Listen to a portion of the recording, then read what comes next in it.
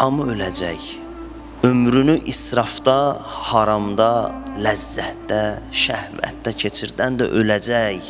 Ömür boyu ləzzəti yaşayan deyil. Allah üçün ləzzətləri tərk eləyən də öləcək, hamı öləcək. Və gətirərlər insanı qoyarlar qəbrə ki, o tənhalıq evinə və gedərlər. Orada təksən. İndi fikirləş, indi vaxtın var. Bax gör nə üçün yaşayırsan? O tənhalıq evi üçün nə hazırlayırsan? Sən milyonların da olsa, yüzlərlə əlvin altında işçilərin də olsa, sənin hər şey ixtiyarında da olsa, sən bir gün tək qalacaqsan, tək. Bunu düşün. Sonra vaxtın olmayacaq. Sonra gec olacaq. İmam Səccad əleyhissalam buyurur, ilahi, qəbirdə tənhalığıma rəhm elə. O tənha ki, insan orada qalır. Orada Allah başlayar insanla danışmağa. Bir ömür qaçdığın Allah, bir ömür yadıva salmadığın Allah, bir ömür ondan uzaq yaşadığın Allah başlayar səninlə danışmağa.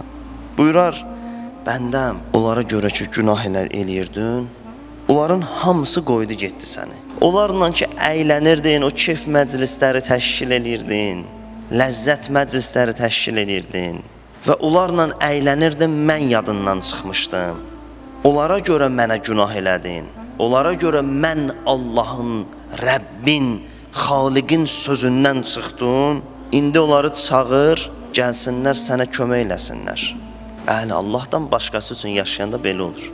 Amma Allah üçün yaşayanda Allah buyurur bəndəm, mənə xatir ixlaslı olmağı xoşlayanda, sən ki mənə xatir xalis idin, mən onun yaşayışını idarə eləyirəm. Bir insan ki Allah üçün xalis yaşayır, Allah buyurur mən o insanın yaşayışını idarə eləyirəm.